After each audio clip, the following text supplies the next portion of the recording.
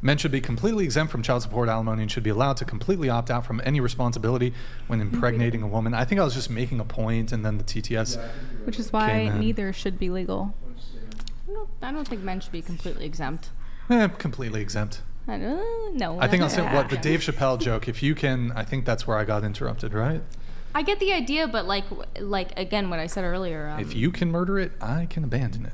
But you're gonna you're gonna raise a society of fatherless children. Do we want that? And Wait, this almost kind of goes back to like, what's the greater harm mm-hmm. I was with thinking with that the oh, earlier. with the thinking war thing? God, I'm so sick of So this. like, what's the greater harm? Like, the dad being not present Or dead. or responsible, or the actual child being never I- having I been hope- born? I Why hope said we would agree all that thought. killing It's a child is the worst possible outcome of You know what? based on my Hold on. I think what we should do is actually double down on this, and I think that we should abort. Uh, you can't get an abortion. you can't get an abortion, but men can. They can still do a paper abortion. Ooh. That's That's crazy. that's equal. That's, That's, what like, it would be now. That that's what that's What's, fair, what's right? the logic behind that? Because that's what's But happening. it's now not for as men. bad. But I no, but It's I, not as bad. But I think it's different because women have to carry the child, so they have to. It's like the what the violinist argument. Like if if you were you Oh, had you were stuck in a hospital for like nine months and someone was plugged into you, like stealing your nutrients, making you feel sick. You were throwing up every morning. You were losing your hair. You couldn't walk. Your body was changing. All of these things. I, I do have to move on.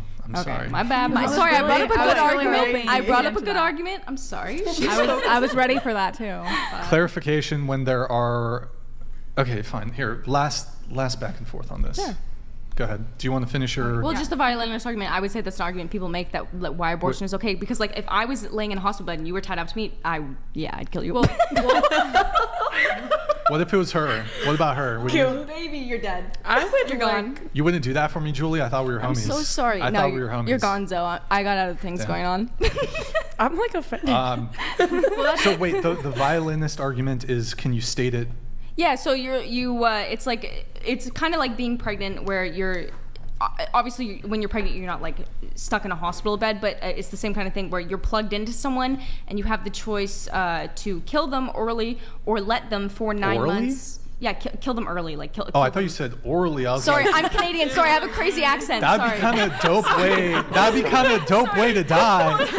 Sorry. Like you're just getting some some brain from a chick, and it's so good. You're just like f- uh, heart I attack. just, I just have it. Bro, I by just, the way, you like fucked your chest up, dude. Holy Oh, I- shit. sorry, I have Bro. sen- I have sensitive God skin. damn, you like I know I have sens- scratching yourself up. I like just have sensitive skin. That's all. Anyways.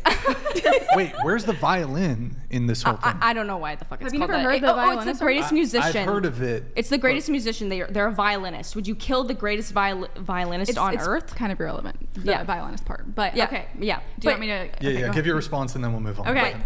You can go. You can go. Okay. No, Okay. you're good. Just Yeah, go. go um, so I think there's a lot of different arguments I can use to debunk that one. I'll just get into a few because I know he's going to kill me if I keep talking about abortion. Um, so uh, number one, um, it's it's a parent-child relationship, which Yes, is different than different, being 100%. tied up to someone. Uh, number two, an abortion isn't just unplugging yourself from someone; it's intentionally going and stabbing them and killing them. It's also very much more traumatic having an abortion than just unplugging. Right, I would agree. exactly, exactly. Um, but also, um, I, I, I get it's very similar. But the organ donation, you're not forced to donate an organ to someone. Um, the uterus, I would argue, isn't even made for a woman. Like the entire purpose of a uterus is to sus- sustain another human's life. Like there's no like I honestly could I could live life much easier without my uterus to be to be real. It costed me a lot of pain. The entire point of it is to um, help another child, um, and I, I would say that's much different than than using your entire body to uh, feel It- someone. yeah, it's just like the kind of the, sa- the same effects as what the argument is. Like it would give like it makes you feel sick. You're like Right. bedridden. You can't work. Blah blah blah. Things like right. that. So I don't think a child depending on a, a mother to survive in a very natural way, like organ donation is unnatural. Uh, Our bodies are made.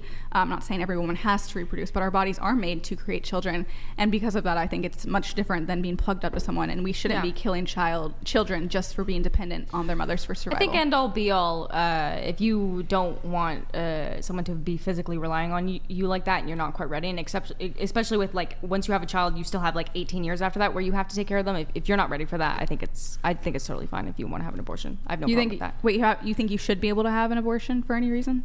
not specifically for any reason, but like if you're not ready, I think that's okay. So like if I'm not ready to take care of a two year old, can I kill them? I don't think a two year old is the same as a fetus. Why?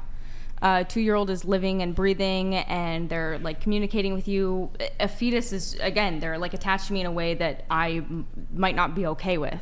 Right, but like a newborn is dependent on their mother for survival. Like if you just set a newborn by itself, it can't just like go Not get a mother, job. though. Any- I would, but the Well, thing with no, a newborn, the thing with a newborn is someone else can take care of that newborn. Right. When that baby's in me, it's just me. So, so I'm a missionary kid. So I've spent a lot of time in third world countries where, in Mm-hmm. these villages, there is no one who can adopt the child. There's no such thing as formula. Mm-hmm. Either the mother breastfeeds her child, or the baby dies. Well, you can also get a like a milkmaid, someone who would breastfeed your in a third for world you. country, that is Sign me not up. a that is not a option. and I'm, I'm talking about the That's situation. crazy. You just said that. that is insane. What? Now, where can we get breast milk? Sign me up. Hold on. Let me let me listen. I'm gonna I'm gonna do this conversation a favor here, and uh, Move on. here. Well, yes. I'm We can talk move on. about, we can talk about What? them being late for two hours, but we can't talk about the leading cause of death. Yeah, pretty much. Yeah, so here's the solution, right? As the fucking based moderate on this panel, this is what you guys got to do. Put your fucking swords away. Join together, coalition. Artificial womb. Just fucking do it. It solves the problem. they are working on that. Artificial womb. Now there's going to be some like other issues that are going to come because of it, but strictly if we're if we're looking at the abortion issue in a vacuum, the woman can still not proceed with the pregnancy. You insert the fetus into the artificial womb. The child can still mm-hmm. live. The, you you save the life. I know there's a lot. I know this is an overly simplistic thing, but why don't y'all throw all your money, bro? Pro-choice, pro-life, come together, son. Start invest in some science shit. Artificial womb. Well, What's I up? have some I have some issues with. I mean, it depends on how good I think I these will artificial also the artificial womb. Like I might have an issue as Let's well. just where like, what- uh, Yeah, like the baby, eugenics. the baby when it's growing inside, you kind of have that connection with it, and Bro, like it's I a feel like it's a middle ground. This is a compromise, It's an alternative You to get abortion. We you don't get, compromise on killing babies. but it wouldn't be killed. It, wouldn't be would killed. survive. It would survive. but- no, no, but it's not going inside a mother. It doesn't have the that same pro- type of warmth. You warmth. get what See, you you're like want. pro-life right now. Huh? Well, I'll argue any side just for fun. No. Yeah. So basically, All right, hold on, no, no, hold on, hold on. Here, Maddie, read this.